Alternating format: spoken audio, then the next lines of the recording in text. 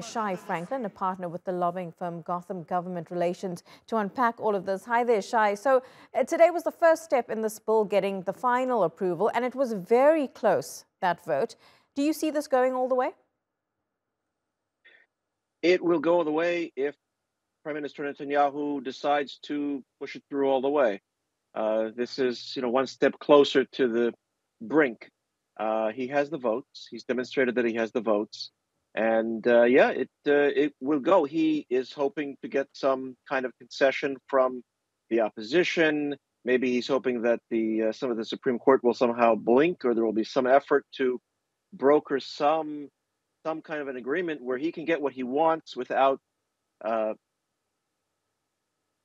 significantly altering the way that Israeli democracy is is set up. And what he wants is the ability to bring in ministers who may be under uh, suspicion or under c- criminal conviction, uh, and uh, and also to be able to not be second guessed by any other body uh, when he moves forward with basic what would be considered an unreasonable law uh, by by any standard. protesters say that these changes to the judiciary are undemocratic, that they are forcing democracy to backslide in Israel. Are they? Yes, the, first of all, there's the fallacy that somehow if you have a majority of the votes, then that entitles you to act in the name of democracy to make it impossible for you to be voted out in the future.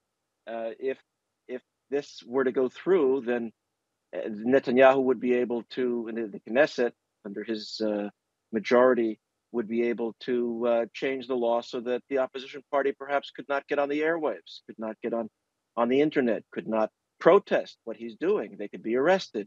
Uh, and then that's not really a democracy. Majority rule is not necessarily democracy. And given the proportional representation system that Israel has, having 61 votes in the Knesset, a majority of 100 out of the 120, is not identical to the majority of the Israeli people. And, and this is something which really uh, would change the character of Israeli democracy.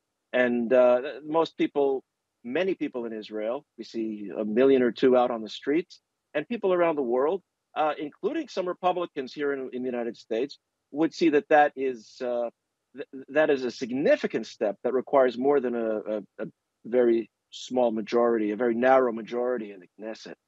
Mm, it's going to be interesting to see how, if this does uh, end up going all the way. Shai Franklin, thank you so thank much you. for your analysis there.